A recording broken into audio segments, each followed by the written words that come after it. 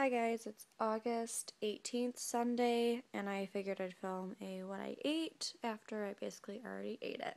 Um, there was red grapes in here also, and raspberries as well, and now I, this is what I have left to finish. Okay, now I'm having some hot sausage, homemade hash browns, and some water. Okay, for lunch I'm going to have um, spicy Italian sausage and a peach and some water. And I might also have um, a roll with some butter on it or um, something like that. Um, not positive yet, but I'll let you know if I do have more. Someone wants to share lunch with me. Don't you, bud?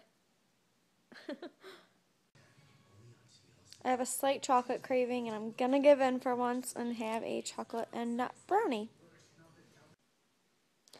I'm just gonna have a quick snack um, before dinner, so I'm having vanilla yogurt.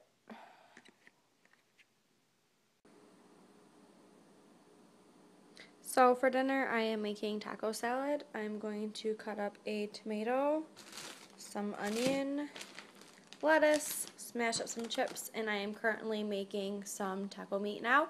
I will show you the end result all together when I'm finished.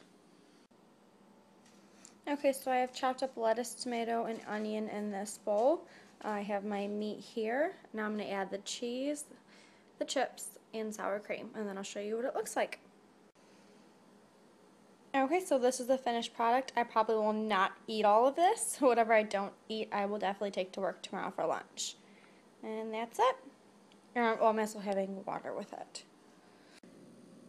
And I forgot to mention I'll be taking my prenatal pill and my vitamin D pill with dinner as well.